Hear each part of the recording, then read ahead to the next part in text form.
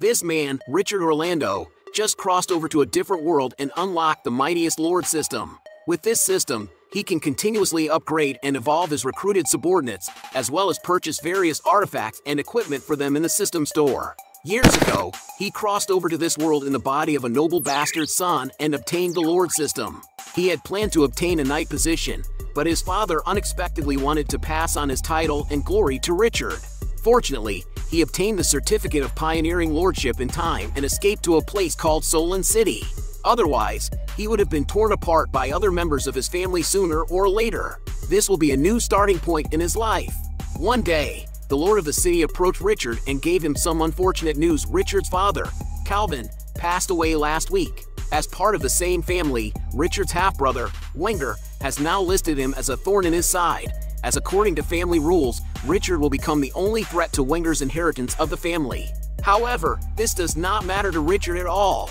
The reason why the lord of the city approached Richard and told him this was to ask him to give up the Orlando surname and help Wenger clear any obstacles. As long as Richard agrees, Wenger is willing to provide 500 gold coins to support Richard's own pioneering territory. Then, the men behind him came up with a box, and upon opening it, Richard revealed a satisfied expression upon seeing the full box of gold coins. He thought that this money would be just enough as the starting capital for his new life. However, Richard was not satisfied with just this money. He pretended to be calm and told the Lord that the Orlando surname carries countless glories and honors, which is the most precious thing his father left him. If he were to give it up, then it would cost more money. Upon hearing this, the Lord was momentarily stunned, but immediately understood. Any problem that can be solved with money is not a problem. He told Richard that he could give him a no-interest loan of 1,000 gold coins, but Richard must buy things from him. 500 gold coins plus a 1,000 gold coin loan. These are definitely considerable assets in this world. Upon hearing this, Richard immediately agreed. He inquired if the Lord had a group of barbarian Highlander slaves in the Colosseum. Upon hearing this, the Lord immediately understood his intention. He wanted to use slaves to form a guard team. However, he kindly reminded Richard that those barbarians are not easy to tame. Even if he bought them with the 1,000 gold coins, they might not listen to him. However, since Richard had made this request, he must have done his research beforehand. The Lord then arranged for his men to take Richard to the arena. This is how Richard successfully took the first step in his life plan. So with the guidance of the city lord subordinate, Richard arrived at the Colosseum. He told the owner that he wanted to buy all the barbarians. The owner was excited at the prospect of a big sale and took them inside the Colosseum. While walking through the corridor, the owner kindly reminded Richard that the barbarians were very fierce and often injured other fighters, causing her to spend a lot of money on medical expenses.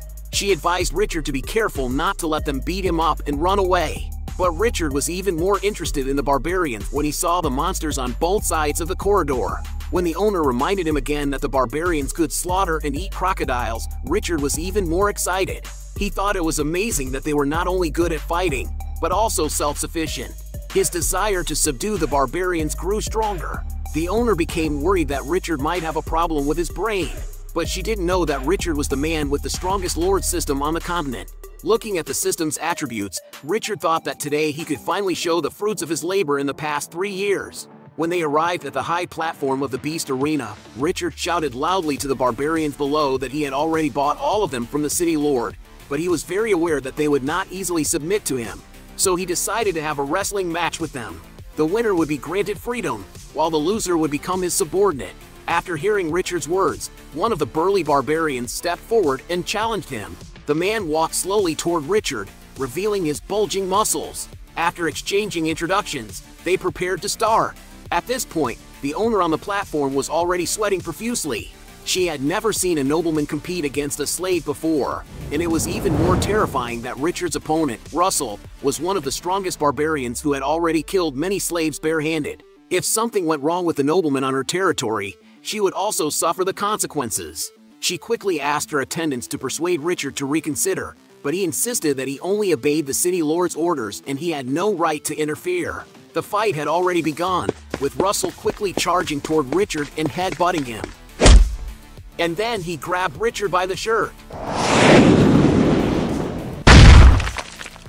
As Richard lay on the ground, Russell patted his hands together and said with disdain that he thought Richard was much more capable, but he had been defeated with just one move. The barbarians below continued to jeer and mock Richard, while the owner on the platform was already in despair, thinking that her Colosseum was going to close down for good. But at that moment, Richard suddenly grabbed Russell's foot. He slowly stood up, with a smug expression on his face. I was afraid you would say I was bullying you, so I let you make the first move. Then Richard punched Russell hard in the stomach. In Russell's incredulous gaze, Richard radiated a large amount of golden light. This is the skill that Richard has developed over the years of using the Lord system to train his physical body. Power enhancement. Russell, furious, charged at Richard again, but this time the outcome was completely different. Richard easily threw Russell over his shoulder and slammed him to the ground. I win. Russell looked at him in shock. As a barbarian, he had lost to a thin aristocrat and couldn't even follow his movements. But Russell refused to admit defeat and stood up again to challenge Richard. However, Richard, now serious, was not someone he could provoke.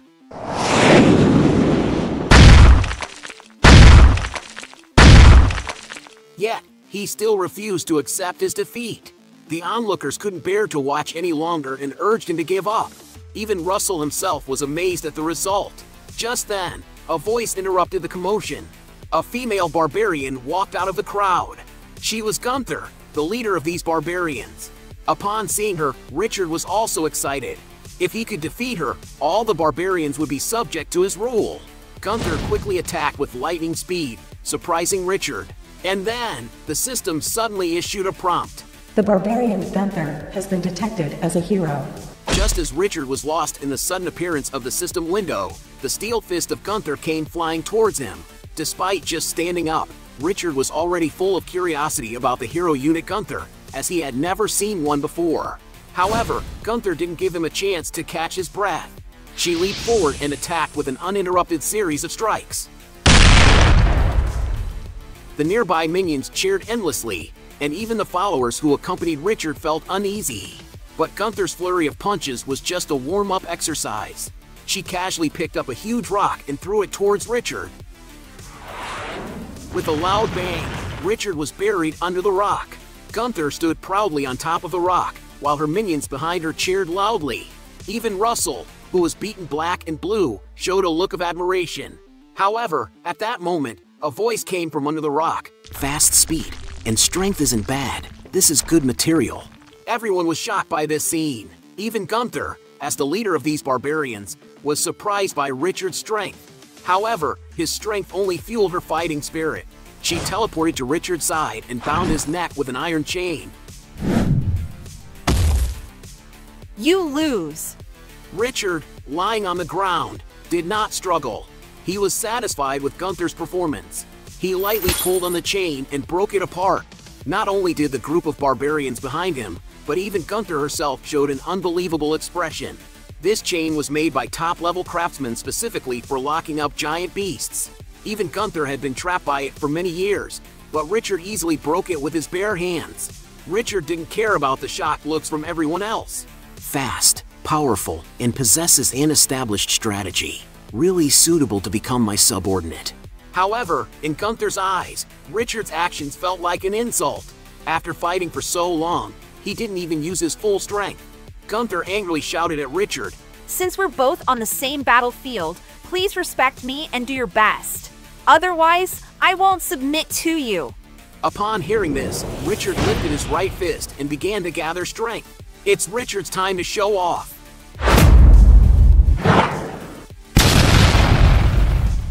Using the same move and routine, the effect on Gunther was completely different.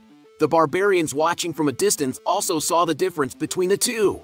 Just then, a large hand like a pair of pliers directly locked onto Gunther's throat. Gunther tried to struggle, but found the opponent's strength to be immense. No matter how hard she struggled, she couldn't break free. Seeing Richard raise his left hand to chop him, Gunther silently closed his eyes, as if he was prepared to die. With a crisp sound, Richard's hand chop did not hit Gunther, but shattered the iron ring on Gunther's body. This move made Gunther's heart race and his breathing became rapid. After knocking down the female leader, Richard turned to the group of barbarians behind him and said, Now you have two choices. First, continue challenging me until everyone loses. Or second, follow me. Richard looked at Gunther as if waiting for her decision. At this point, Gunther had been completely conquered. She grabbed Richard's hand and stood up. She announced to the barbarians behind her, from now on, Richard is our new leader. Looking at the muscular and sturdy man, Richard also made a statement. Follow me and work hard. I will make you stronger. In this way, amidst cheers, Richard received a prompt from the system. Looking at the constantly popping up requests to join the team, Richard officially took the first step in his journey. Although he was very much looking forward to his future exploration, it was not good to walk around the streets with a group of half-naked barbarians. So Richard took a group of people to the equipment store in the city. Looking at the dazzling array of equipment, the barbarians were excited like children. But Richard didn't even glance at them and went straight to the owner and said, I'm here to buy some equipment for my brothers. I hear you have good weapons here. Upon hearing this, the owner guessed that the other party was an expert and pressed the button on the wall. The walls of the building began to rotate, and a wall of weapons appeared in front of everyone. Richard asked the owner to equip each person with one lance and three throwing spears. The owner quickly calculated and told Richard that it would cost a total of 750 gold coins. However, Richard only brought out 500 gold coins. The owner looked at him with contempt and was about to press the button to close the door and send him away. But Richard already knew that the other party was superficial, and he directly pulled out a legendary equipment, the Dragon Slayer sword, and handed it over. The owner was so excited that he trembled all over. To have such a good weapon, the man in front of him must be a big shot. He immediately agreed to let Richard pay by credit, and arranged for his employees to quickly get the equipment for everyone. The people who received the equipment were ecstatic. At this time, Gunther came to Richard and asked him what the next step was. Richard smirked and said, We'll be taking over a land that should be ours. Richard and his group are on their way to find a territory. They have been targeted by a goblin and Gnoll army lying in ambush on a hill. The excited Gnoll captain laughs and says, the opportunity to strike it rich is here. However, Richard had already sensed something was amiss. He turns around and tells the others, everyone stop, form a circle with the carriages, and keep the livestock and goods inside to prepare for an attack. Then he takes out a bag of pills and tells them it's an Eastern pill that can make them stronger. Most people immediately swallow it, but some are still skeptical. Of course, it's fake, it's just regular dough. The purpose is to cover up the Lord system. After all, this system is too powerful. You can level up just by constantly fighting. If the barbarians find out, it could cause a riot. Richard opens the system panel and finds that the vast majority of the barbarians are third-level spearmen. Only Gunther is an independent hero unit. After closing the system panel, Richard says, I will let all of you feel the power of this medicine pill. The imminent battle is about to begin. The army of monsters on the hill has already charged down. Richard's side has also prepared for the fight. He was seen holding a spear and shooting it out. But it was blocked by the goblin leader's armor. He exclaimed that the power was great, but not to be feared. Then he shouted to his men, We have several times their military strength. Let's attack together. Due to the difference in numbers, Richard's side is clearly at a disadvantage at the moment.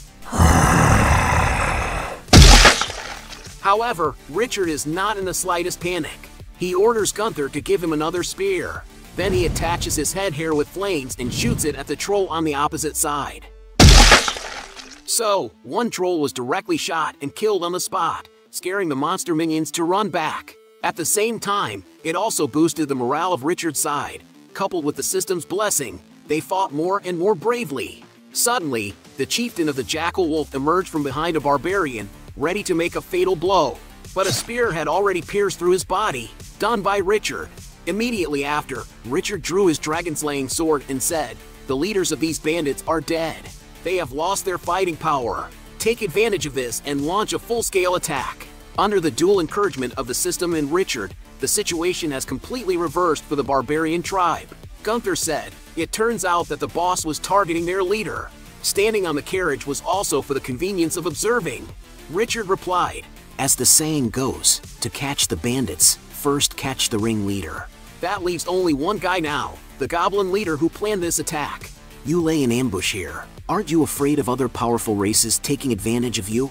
The goblin leader laughed. The nearest would be at the High Mountain Fortress, which is several miles to the east. That place is easy to defend and hard to attack. Besides, those kobolds don't have the guts to come out and snatch my spoils. Richard was surprised that there was an unexpected advantage. He was worried about not finding a territory. He said, I felt sorry you couldn't get the goods. So Dragon Slaying Sword will now join the battle as a gift for you.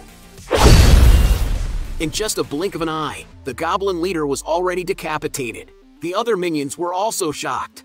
At this time, Gunther immediately ordered the capture of the remaining bandits. Richard looked at the notification from the system.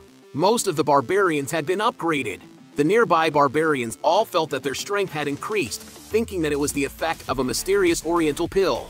At this time, his men brought two trolls. Richard thought, the horses are gone, so let the two of them pull the goods. He said, From now on, they are the marshals Hung and Ha. Richard looked at the map and said, So, the next stop is the High Mountain Fortress. After two consecutive days of traveling, Richard and his group finally arrived at the High Mountain Fortress. Looking at the clear water in the pool, a group of big guys jumped right in and started washing themselves. This made Gunther a bit embarrassed, but Richard had a harmless smile on his face and secretly told her that there was a secluded pond over there, guaranteed that no one would peek. After taking a break during the day, Richard made his way to the mountaintop under the cover of night. Looking at the two guarding kobolds, Richard and Russell showed a contemptuous expression. Immediately, Richard gave the order to attack. Meanwhile, inside the castle, the kobold leader was wooing a catfolk. At this crucial moment, Richard kicked open the door. The kobolds were so scared that they involuntarily stuck out their tongues and called for the guards loudly. At this point, one of Richard's subordinates came to report that all the kobolds outside had been taken care of. The consecutive events caused the kobolds to collapse instantly. He looked at Richard in rage and said, How dare you attack my troops? I have a dozen tribes of brothers nearby, and they won't let this go if anything happens to me. However, Richard didn't indulge him and immediately hung him up. This frightened the kobold, and he immediately apologized on the spot. Seeing that he were obedient, Richard untied the rope and let him go. The kobold who fled had a resentful look and said, Wait for me. I will seek revenge. After letting the kobolds go, Richard told everyone that not only was the place spacious, but it also had a wide field of view and ample water sources. It was easy to defend and hard to attack, making it a perfect stronghold. However, Richard also warned everyone that there must be a reason why such a good place was occupied by a group of kobolds with few advantages. There were probably many more of their brother troops nearby, so everyone needed to quickly build defensive fortifications. Russell was puzzled and asked, if that's the case, why did we let their leader go? Richard said that he had spent a lot of money on equipping everyone with weapons and equipment before. This time they would collect troops to earn some money. Instead of going out one by one to find them, it would be better to wait for them to come to them and take them all out at once. The peaceful life only lasted for two days. Richard's men discovered a large army station not far away. Richard wiped away the food residue from his mouth and revealed a wicked smile. Since someone has brought money to our doorstep, let's take action tonight. Upon arriving at the enemy camp, Richard noticed that the goblins were incredibly careless, even dozing off while on guard duty, which made it easy for him to launch a surprise attack. If that's the case, I'll take this opportunity to establish my dominance over High Mountain Fortress. Richard arranged for most of his subordinates to go home and defend, while he took a small team consisting of Gunther to proceed. Under the cover of night, the squad quickly sneaked into the enemy's tent and easily ended the lives of the goblins. Watching the neatly organized barbarian troops, Richard quietly opened his system. It seemed that the system had brought them more than just increased strength. Before, they were just a group of simple-minded barbarians who didn't understand the concept of coordination. Now, they had become an elite force capable of forming their own battle formations. However, at that moment, a barbarian suddenly noticed something unusual. As a violent tremor shook the ground, the barbarian was immediately thrown away. Out popped a giant goblin with two horns. This is a goblin with dragon blood, Draco Goblin. And then Draco Goblin began chanting spells. Goblins emerged one by one like groundhogs. This frightened everyone present, including Richard who felt the situation was becoming tricky. But that's not all. The goblins let out another loud roar, and a giant beast with the appearance of a pangolin picked up Draco Goblin on its back.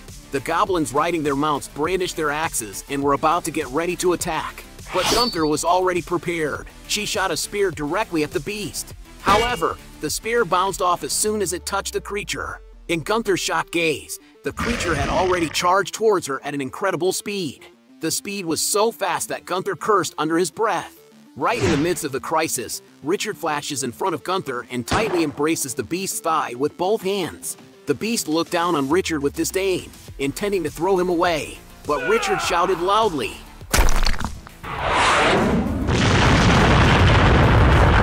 The beast lost consciousness on the spot, and the nearby goblin minions were all stunned to see this scene. Even Draco Goblin, who was thrown off his mount, had an incredulous expression on his face. A noble dragon blood? Ain't you just a noble who surrendered? However, as someone with the bloodline of a giant dragon, Draco Goblin couldn't allow himself to be defeated so easily. He picked up his weapon and swung it at Richard as if it were his last bit of stubbornness. After a loud bang, Richard blocked the axe with one hand and punched with the other. And just like that, a goblin with the bloodline of a giant dragon made a hasty exit after barely making an appearance. As I said, let's make this a quick battle. This battle not only allowed Richard's subordinates to gain a lot of experience and attributes, but also captured the Draco Goblin's mount alive. Richard patted the giant beast's forehead and said, From today on, you are my mount. I will call you Wind Chaser. If you don't behave, I'll cook you and feed you to everyone. It's a pity that these guys are too poor and didn't bring much gold to Richard. Regardless of where you are, gold coins are always a hard currency. They can buy subordinates and all sorts of equipment in the system store. It's a shame that Richard is too poor and can only buy some old and worn out equipment to make do with. Just when Richard was still worrying about gold coins, his subordinates suddenly heard the sound of a fight. Richard picked up his binoculars and saw a caravan being raided by jackals. Judging by the size of the caravan, he knew it wasn't an ordinary one. Richard's face lit up with excitement. He knew that trade was an important aspect of expanding his territory on this continent. If he rescued them, he might even be able to do business with them. Without hesitation, Richard brandished his long spear and pierced through one of the wolfman's bodies with lightning speed. The onlookers were shocked and stood there in amazement. However, this was only the beginning. Gunther raised her long sword and gave the order to attack. The barbarians behind him fiercely charged into the pack of jackals. Richard leaned casually against a tree, not intending to take action this time. His barbarian subordinates had come a long way since they first joined him, not only in terms of strength, but also in terms of military discipline. The wolfmen attacking the caravan were nothing more than a group of disorganized rabble. As expected, it didn't take long for the jackals to start fleeing in all directions. However, Richard had no intention of letting them escape this time. He ordered Windchaser to pursue the remaining wolfmen who had slipped through the net. Watching his victorious barbarian subordinates, Richard smiled with satisfaction. At that moment, the priest of the caravan approached Richard and expressed his gratitude. He promised to sing praises of Richard's virtues upon their return. If you really want to repay me, just give me some money. Suddenly, a voice of a girl could be heard not far away. As expected of a greedy nobleman, you really are an interesting person. Richard turned his head to see a blonde elf walking out of a carriage. She introduced herself as Annie from Voya Trading. She was very grateful for Richard's help earlier and then looked at him with a pleading expression, asking if he could accommodate them for a while. The recent battle had left them severely damaged, so they were hoping to rest and recuperate at the High Mountain Fortress for a while. They also offered money and weapons as compensation for their stay. And at that moment, Annie commanded her subordinates to produce a crystal ball, which she then threw into the air. The crystal ball began to expand. It turned out to be a communication crystal ball used by their caravan. As Richard looked at the crystal ball, he had a meaningful expression on his face. A caravan that possessed such high-level items was undoubtedly not a simple one. He thought that he might be able to earn a fortune with their help in the future. Richard then extended a hand of friendship towards Annie and said, Well then, come with me. I am Richard, the Lord of High Mountain Fortress, and I never turn away friendly guests. Upon returning to his territory, Richard silently observed Annie and soon noticed that she was using a legendary healing potion. This was no ordinary item, and it certainly wasn't cheap. Richard's interest in the caravan grew even stronger. Night fell, and neither party felt like sleeping. As Annie remembered the loss of her subordinates during the day, a sorrowful expression crossed her face. Likewise, Richard was also troubled, but for a different reason. He was troubled by his own subordinates, a group of penniless people who were arguing over a system reward axe. Just as Richard was about to close his eyes and get some sleep, Gunther rushed over in a panic manner. It turned out that she had discovered a large group of centaur troops outside the city walls. As Richard arrived at the city gate and took a look, he immediately noticed a half-human, half-horse girl among the centaur troops. Richard instructed his men to throw javelins in an attempt to deter the enemy. However, they paid no attention and continued to march towards the city gate. To their surprise, the enemy disregarded Charlie's warning. Richard ordered his men to throw javelins once again. At that moment, the half-human, half-horse girl instructed her followers to stop. She then pulled out a white cloth and hung it directly on a stick. At the same time, Richard's side also noticed that the enemy raised a white flag, indicating surrender. He immediately walked out with his men. Richard looked at the enemy warily and asked for their intentions. The girl, who was part human and part horse, bowed to Richard and introduced herself as Hut, the clan chief of Clan Patriarch. Then Hut took out a stone tablet and handed it to Richard. Hut explained to him that it was an invitation from the kobolds, a type of mythical creature, to join forces and unite the armies of the human horse tribe under their leadership. However, the human horse tribe had no desire to become bandits. They had always lived a peaceful and stable life, so they wished to join the high mountain fortress and restore their former way of life. To show her sincerity, Hut also brought a message for Richard. She informed him that the kobolds had gained the assistance of a dangerous shaman and advised Richard to be cautious. Just then, Richard also saw a notification pop up on his system. Along with the human horse tribe's request to join, it displayed each member's characteristics clearly. In that case, Richard decided to fulfill the request of the human horse tribe. Not only would it make up for their lack of ranged units, but it would also strengthen their overall forces. After joining Richard's team, Hut informed everyone that although the kobolds had organized an army, there were many factions within their group, and they needed to divide labor and make preparations. Therefore, it would take at least 10 days for them to arrive at the high mountain fortress. Upon hearing this news, Annie and Gunther had completely different reactions. Annie felt worried and unsure of what to do, while Gunther displayed a greedy expression. Richard carefully examined the map in his hand. With 10 days, they had enough time to prepare for the upcoming battle. He confidently told everyone that he had already formulated a plan to deal with the situation. Annie and Gunther both looked at each other with curiosity upon hearing this. Richard held up five fingers to Annie, indicating that he wanted to borrow 500 coins from her. Annie breathed a sigh of relief upon hearing this and immediately said that she could lend him the money. Late at night, Richard took Hut to a small grove. Due to the system's influence, Richard knew that the Centaur tribe was skilled in archery. Therefore, immediately after borrowing the money from Annie, he purchased equipment for them. After looking around, Richard ultimately chose a medium-priced purple long bow and white feather arrows. Hut took the long bow and closed his eyes to feel the sounds around him.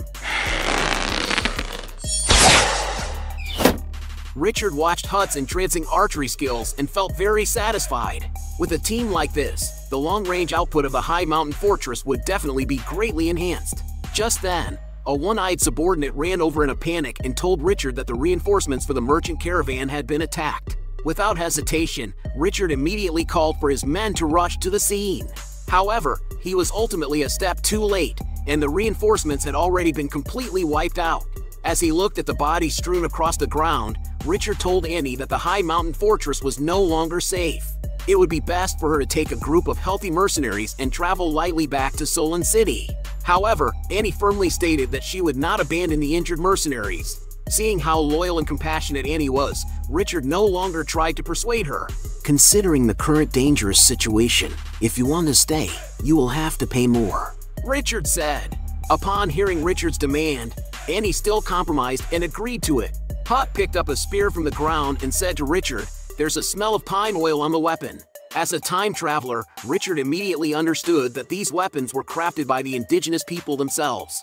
Annie turned her head and said calmly, In fact, there are many powerful tribes further north in the wilderness. They have thousands of soldiers and often engage in wars to fight for territory. Making their own weapons is a common way to strengthen their power. Annie paused for a moment and continued, Currently, kobolds are rallying their troops, so the appearance of these weapons may not be a coincidence.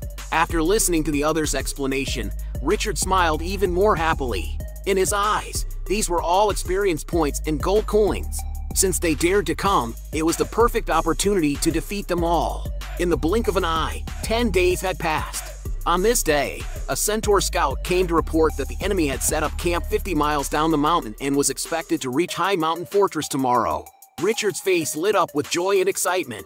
He had been waiting for this moment for so long and it had finally arrived. Richard and his men arrived at the battlefield, dressed in armor purchased from the system. Before them was a massive enemy army, numbering more than five times Richard's own forces. However, Richard's men did not show any signs of fear, but instead were excited for the coming battle. Richard ordered the archers to initiate two rounds of arrow rain attacks first, before leading the entire army to charge forward. This simple and crude battle plan shocked Annie a bit. Standing atop the mountain, the Jackals and Kobolds leaders looked down upon the battlefield with contempt, believing their opponents to be no match for them. They immediately ordered their entire army to attack, and the two sides engaged in a fierce battle within the canyon. Richard led his tribe's archers to launch a volley of arrows, causing heavy casualties on the enemy side. In response, the indigenous people started to fight back by throwing spears at Richard's army. However, Richard was already charging ahead on Windchaser, his sturdy armor blocking most of the enemy attacks. Soon, the two sides engaged in close combat. Richard descended from the sky on his Windchaser, causing a shockwave that sent a large group of enemy soldiers flying. Under his leadership, the barbarians fought with increasing bravery. In Richard's first charge, he inflicted heavy casualties on the enemy, with over half of their forces either killed or wounded. As they watched Richard wreak havoc and destruction upon all those who stood in his way, Gunther and his men were filled with shock and awe, gazing upon Richard as if they had seen a devil in the flesh. At this point, the leaders of the kobolds and jackals standing atop the hill were beginning to panic. They turned to the wizard standing behind them, realizing that this was their last hope, their final ace in the hole. The wizard stood before a blazing fire, muttering incantations under his breath. In the next moment, a massive fireball shot up into the sky, hurtling towards Richard's army.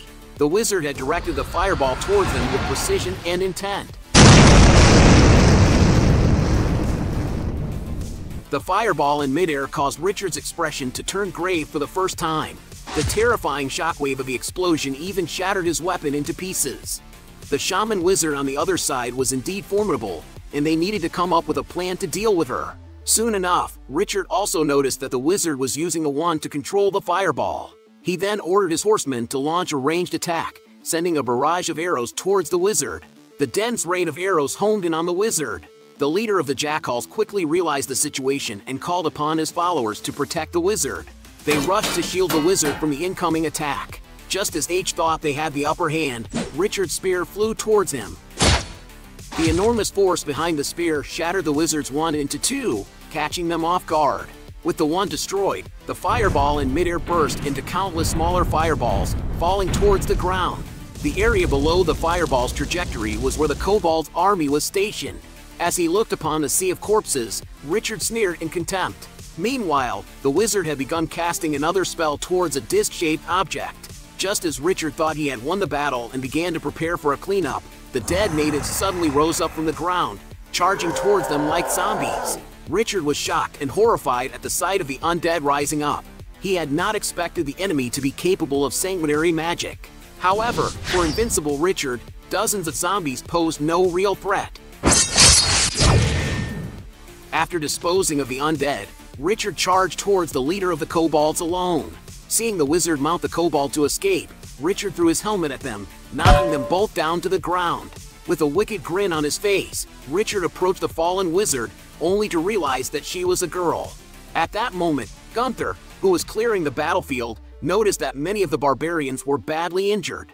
Richard grabbed the wizard up and ordered her to use her magic to heal the wounded. The wizard, afraid of getting beaten, had no choice but to comply. Under her spell casting, the injured barbarian's wounds gradually healed. Richard couldn't help but think to himself on the side. This wizard not only knows magic, but also has healing abilities. Staying at High Mountain Fortress will surely be of great use. But the other natives weren't so lucky. They were all taken back as slaves. After defeating the Kobold army, Richard not only received a large amount of system rewards, but also captured the leader of Kobolds and the wizard. Richard had hoped to get the wizard to reveal the location of the bandit's stronghold, but he didn't expect the wizard to be so stubborn. She even boasted about having the blood of a red dragon and refused to submit to the barbarians. However, Richard did not indulge her behavior and punched her directly to the ground. After being hit, the wizard was no longer arrogant and obediently revealed her name as Model.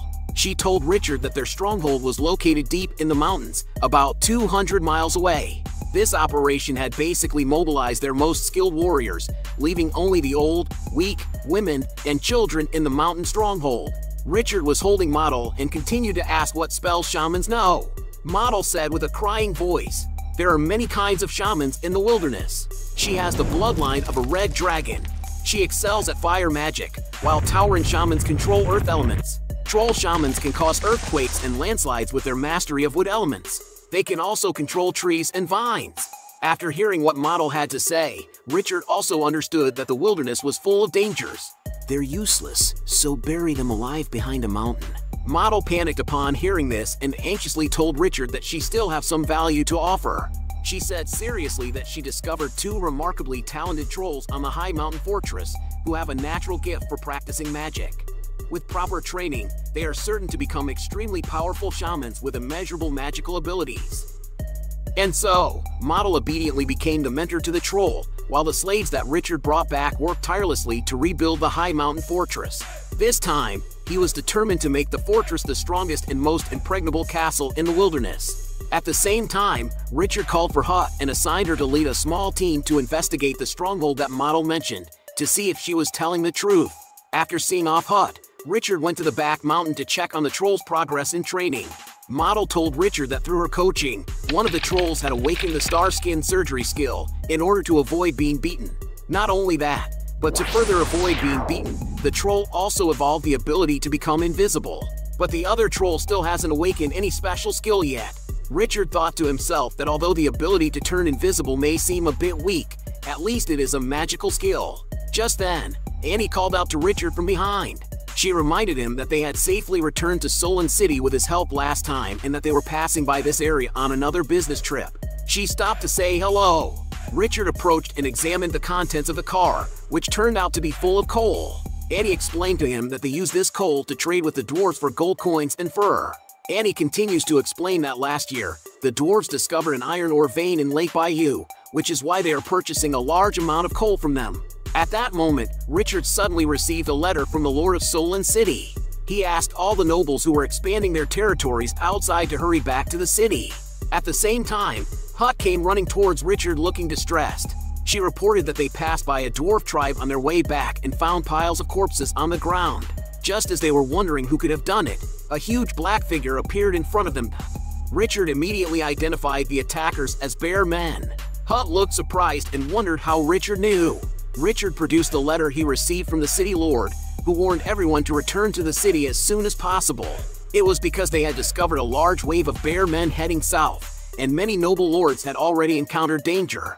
Richard, however, being the proud warrior that he is, doesn't intend to run away like a coward. He turns to Annie and says, It seems like your business with the dwarves can't be completed. Why don't you give me the coal instead? Annie looked at Richard with confusion. In fact, the reason why Richard wanted the coal was because he also built a factory. The weapons used in High Mountain Fortress were all made by himself. He led Annie to a tent where he kept his creations. This is something that only exists in my true homeland. The high-tech equipment before them left Annie and Model stunned. As night fell, Richard and his group arrived at the dwarf tribe's village. They saw the ground covered with corpses and footprints left by bear men.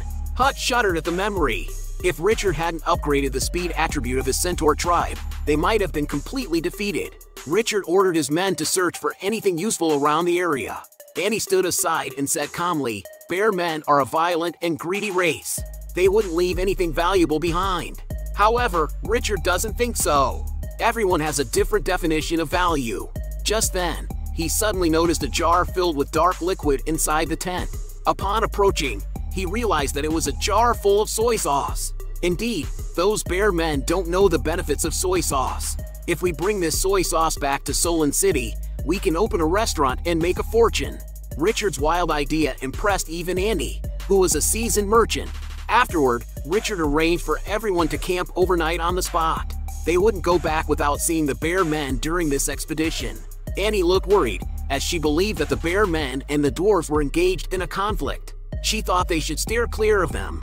However, Richard explained to her that the two tribes were probably fighting over the iron mine.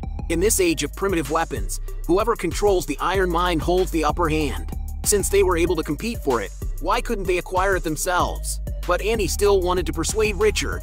A large-scale war like this was beyond the capabilities of the High Mountain Fortress army. However, Richard confidently replied, The High Mountain Fortress is not what it used to be. We not only have cannons that surpass this era, but also a magical group consisting of three wizards, not to mention my brave and skilled barbarian warriors and archery troops. Richard drew his dragon-slaying sword and stood atop a high tower. The soldiers below were all fired up and ready to go.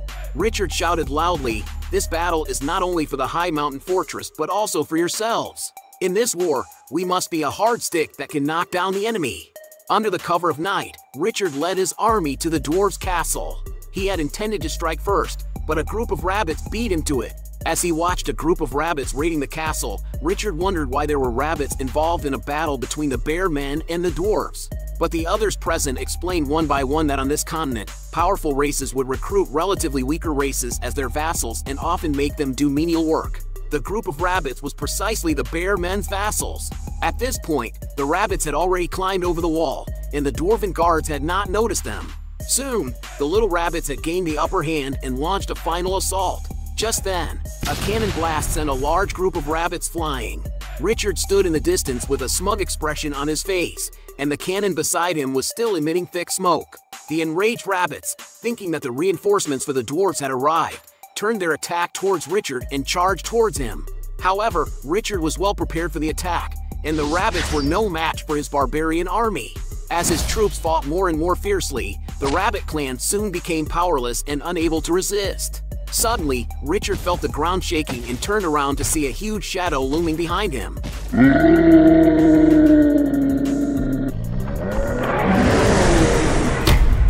Richard could only helplessly defend himself against the bear men, who were several times larger than him. The rabbit tribe also launched a counterattack under the leadership of the bear men. Although the bear men had more people on their side, Richard's troops were not to be trifled with. They had well-trained centaur units acting as rear guard, and they also had a team of magic advisors. Model began to cast a spell, launching a series of fireballs at the Bear Men tribe. At the same time, the two trolls that had been trained by Model also proved to be very effective. The dwarf tribe on the city wall was momentarily confused. They were the ones who were supposed to be beaten, but they had been rescued. The key issue was that they didn't even know who their saviors were. But on the battlefield, there simply wasn't enough time for them to contemplate these matters. Let me show you the power of a lord. Richard activated Sky Power Activate and sliced one of the bear men in half with a single strike. However, on the other side, Gunther wasn't as lucky. The bear man swung his large hand, sending Gunther flying with tremendous force. Even Russell's weapon couldn't harm the bear man in the slightest. A sword light sliced through the air, instantly decapitating the bear man. It was Richard who made the saving blow, allowing Gunther to escape from danger. And this was thanks to the Troll Stone Skin and Invisibility spells. These two abilities not only could be used on themselves, but could also be applied to teammates on a large scale. Just as Gunther and his group thought they had won a complete victory, a red smoke suddenly appeared on the battlefield. The fallen bear men and rabbits slowly stood up in the smoke. Model, who was knowledgeable and experienced, immediately recognized that this was the spell of Berserk. The ones who could cast this kind of magic were the Minotaurs of the Crescent tribe. She explained to Richard that there was a tribe of Minotaurs living in the southwest of the Pompeii Empire. They were wild and aggressive by nature, and with the Shaman's Berserk spell in their tribe, they were invincible on the battlefield. That's why many people called them the Bloodhoof tribe. As he watched the group of Berserk bear men and rabbits, Richard began to search for the one who cast the spell. Model said with a solemn expression, the opponents are only in a state of partial Berserk, so the caster should not be present at the scene. Upon hearing this, Richard felt relieved. This group of defeated soldiers was not a match for Gunther and his team. After driving away the bear men and rabbits, Richard arrived at the front of the dwarf castle. The dwarves looked very wary of Richard and asked about his intentions. But when they saw Annie, they immediately opened the castle gate and welcomed them inside. As soon as they entered the castle, the dwarf leader, Robbie, could no longer hold back and tearfully recounted their ordeal to Annie. If it weren't for their help, their army would have been completely wiped out. Upon seeing Robbie's reaction, Richard couldn't help but laugh. Robbie thought that Richard was mocking him and glared at him with anger. Annie quickly stepped in to defuse the situation. The two parties then ended their unpleasant conversation and went their separate ways. Along the way, and he kept advising Richard not to take it to heart. However, Richard had a deep disdain for Robbie. In his view, a weeping and emotional leader like Robbie was simply incapable of winning this battle. Upon arriving in the resting room, Richard was able to lie down and take a nap, but Hut had to kneel on the ground to rest. The room prepared for them by the dwarf was simply too low for Hut's height. Just then, the house suddenly shook violently. Richard, looking alert, sat up in bed and went to the window to investigate. It turned out that the Minotaurs had returned with the bear men to seek revenge. Meanwhile, on the city walls, a group of dwarves quickly entered a state of preparedness, picking up their horns and sounding the alarm. Soon, a large army gathered in front of the city gate. As Richard and his group stood in front of the dwarves, the dwarven army was still somewhat resentful. After all, Richard had previously mocked them while they were in the castle. The proud dwarven army refused to let Richard and his group steal the spotlight, and confidently walked up to confront them. They even asked Richard to step back and let them take charge. Due to their short stature, their enemies had to stoop down to attack them, giving the dwarves a natural advantage in combat. Seeing the proud and stubborn dwarves, Richard could only smile and let them have their way. However, the dwarves' plan was too simplistic. After just one charge, they were easily defeated and scattered by the enemy. Robbie, who was standing on the city wall, suddenly panicked and asked Richard if the previous cannon was still usable.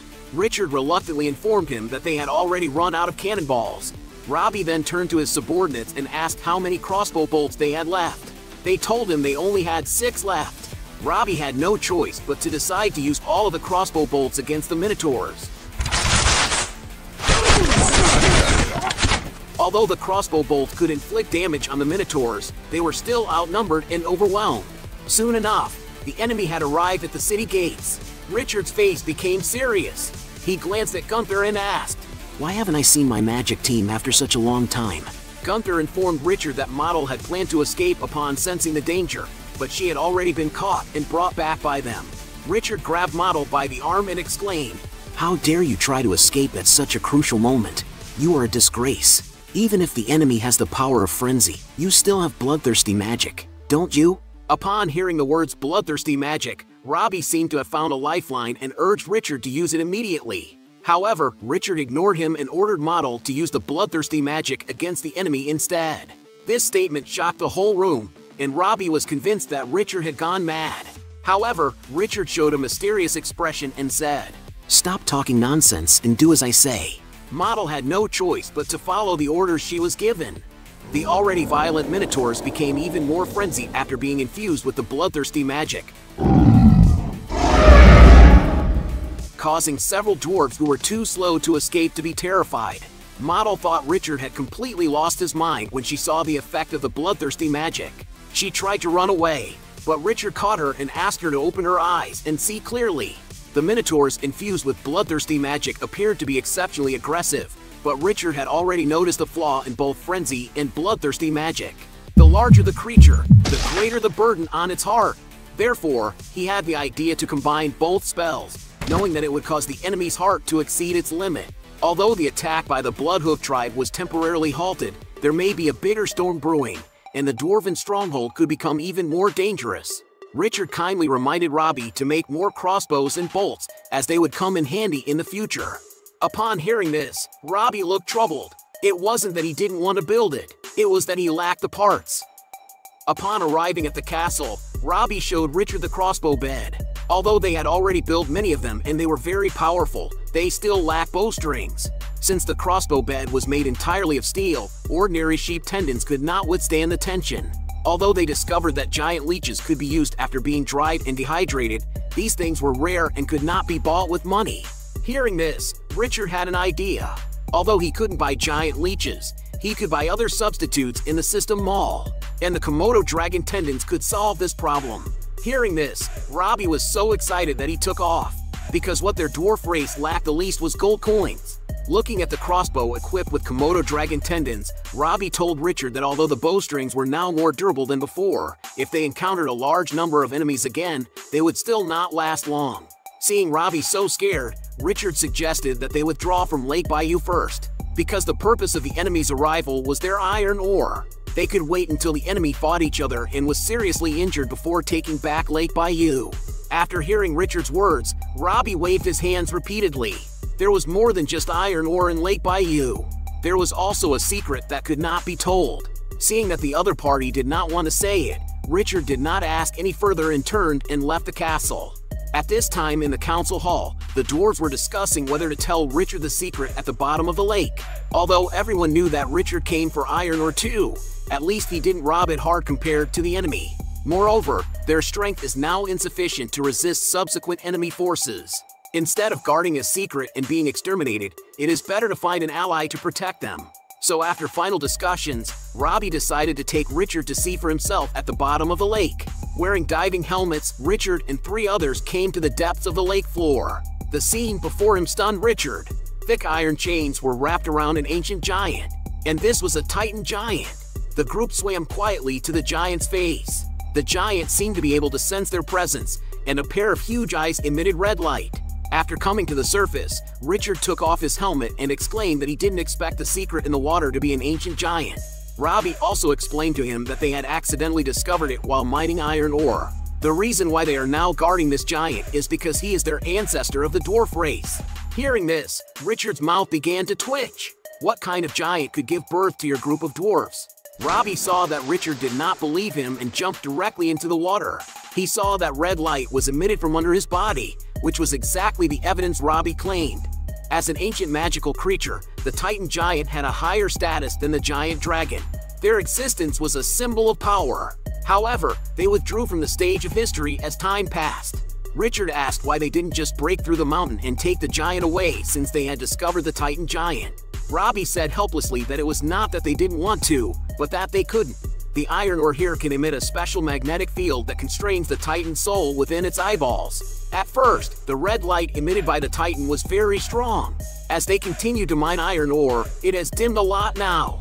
So they have already ordered a ban on mining iron ore. Although Richard understood their beliefs, they couldn't always guard the Titan until he died. Robbie explained that after many years of research, they had discovered some patterns. As long as it is on the night of the full moon, the power of the Titan can be maximally stimulated. According to the description in the ancient books of their clan, this soul power can be inherited.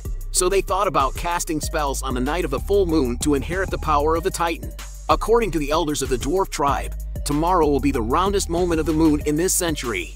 At that time, casting spells is most likely to inherit the power of the Titan.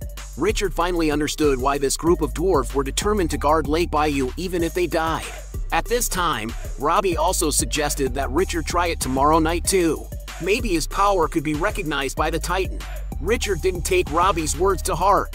If it was really as Robbie said, and the Titan was their ancestor, then it would definitely be easier for dwarves with blood ties to succeed. Compared to the Titan giant, Richard is now more concerned about the enemy's movements. Sure enough, after Richard returned to the castle, Hut rushed back because her scouts had discovered enemy forces and this time their army had exceeded 5,000 people. It seems that there will be another big battle tomorrow. The dwarf army quickly established defensive fortifications. This time the enemy even deployed the Bear King. This made the dwarf race fight like trapped beasts. At this time, Robbie was already scared out of his wits. He now placed all his hopes on the power of the Titan on the night of the full moon. Looking at the depressed Robbie, Richard could only helplessly encourage him to cheer up.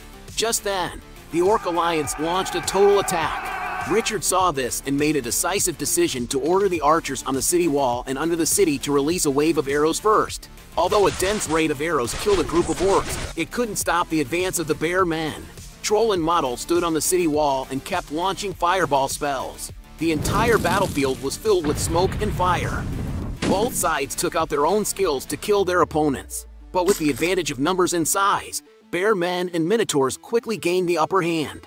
Richard saw this and drew his sword and rushed into the battlefield. He instantly cut off a bear man's arm and saved a teammate. But this also attracted the attention of the Bear King. The Bear King picked up a meteor hammer and hit Richard. Richard blocked with his sword, but the opponent's strength was really terrifying. Richard was instantly knocked out. This further boosted the morale of Bear Men's soldiers. Richard glared fiercely and bit his teeth before rushing back with his sword again. In this way, this battle lasted from dawn until dusk. The scene was already full of corpses, but neither side gave up. Richard looked at the system panel with a worried look. This was the first time that his subordinates had suffered heavy casualties. Looking at the enemy forces pouring into the battlefield, Richard emotionlessly issued an order to retreat. The current situation is already impossible to break through successfully. Only by holding onto the castle to consume the other party can there be a glimmer of hope. Upon arriving at the castle, Richard was furious when he saw Robbie squatting in the corner and crying bitterly. The army outside was ramming the city gate. Seeing that Robbie couldn't be counted on, Richard had to order everyone to block the city gate. But the enemy was too numerous and it started to rain heavily. The wizard's fireball spell couldn't work at all. And just then, the city gate was finally knocked out with a big hole. A group of minotaurs and bear men showed excited expressions and were about to rush in. Richard turned his head and asked Robbie how many people they had left. Robbie said helplessly that there were only more than 100 people left. Looking at the nearly thousand enemy forces, Richard showed a bloodthirsty smile. In this way, if they want to win this battle, at least one person has to fight 10 people. Under Richard's command, whether it was barbarians or dwarves or centaurs, they all joined the charge team and fought with the enemy. Richard was full of momentum and killed a large number in an instant. But the dwarves didn't have his strength. If this continues, they will be wiped out sooner or later. Seeing this, Richard turned his head and shouted for Model to cast Bloodthirst on the dwarves. Model struck a constipated pose. After a brief spell casting, golden light descended from the sky. At the same time, Troll also cast Stone Skin on them. Uh, The eyes of the dwarf army were red and their fighting power soared. The enemy was ruthlessly crushed before they could react. Soon the rabbit army fell at the feet of the dwarves. Seeing this, the Bear King ordered the sheep army to charge. But Richard was prepared. He ordered Troll to use wood magic to block the enemy. Thick branches divided the battlefield in two. The Bear King was furious when he saw this. But this was only Richard's first step. The next second, Richard had Troll cast invisibility on him and quietly approached the Bear King from behind. Richard was going to strike at the isolated Bear King. It was time to end it. Richard stabbed the Bear King with a sword. The leader was killed. Everyone on the scene stopped their actions and looked at Richard in shock. Someone in the crowd shouted run, and the scene became chaotic. Seeing this, the barbarians also began to pursue their victory. After a fierce battle, the castle was finally defended, but everyone paid a heavy price. However, after this battle, Richard's men gained a lot of experience. Just as Richard was checking his system panel, Robbie, dressed in full regalia, came up behind him with his men. It turned out that tonight's full moon night was the day they held a ceremony to inherit the power of Titan. As per their previous agreement, they planned to have Richard try it out as well. Although Richard wasn't particularly interested in these things, he went along with Robbie with a curious mindset. The group arrived underwater and, as the dwarves cast their spells, the Titan giant buried beneath the lake slowly rose to the surface. Looking at the giant before them, Robbie waved a stick above his head like a butcher trying to shoo away flies. The nearby dwarves followed Robbie's lead and jumped around with him. With the sound of a horn blown by one of the dwarves, flames were lit around the scene. Then, a candidate who had been pre-selected as the heir stepped into the fire circle and solemnly chanted a spell. On the side, Richard asked Model in a low voice if there was any danger. Model smirked, saying that if the heir could truly inherit the soul of the giant, then these dwarves' bodies would not be able to withstand it, and there could be an explosion on the spot. Hearing this, Richard broke out in a cold sweat and silently rejoiced that the power of the soul had not been injected into his body. At this point, the dwarf undergoing the ceremony had finished chanting the spell, but unfortunately, nothing happened. One after another, the dwarf candidates entered the fire circle, but the results were the same. Robbie had a bitter expression, and none of the carefully selected dwarves met the criteria. Then, he suddenly remembered that Richard hadn't tried it yet and frowned, urging him to give it a try. Although Richard didn't take it seriously, he reluctantly agreed and followed the others into the fire circle. However, at this moment, the fire circle suddenly changed. The giant's eyes emitted a golden light, as if about to explode halfway. Richard quickly dodged, and then the crowd suddenly saw a creature's figure in the giant's eyes. The cute little divine beast before them was actually born from the ancient god race inside the titan giant's body. But it was this little animal that made the dwarves shout ancestor in unison. Richard grabbed the creature to take a closer look, and the dwarves crowded around eagerly. However, at that moment, Richard suddenly felt that something was wrong. There seemed to be energy about to be released from the creature's body, so he quickly threw it to the group of dwarves. Unexpectedly, the little animal had inherited the thunder spell of the Titan race. Richard was both surprised and delighted, and at that moment, the Titan giant, which had been standing in the middle of the lake, seemed to have completed its mission and began to crumble bit by bit. And so, Richard's story at the Dwarf's Fortress came to a close.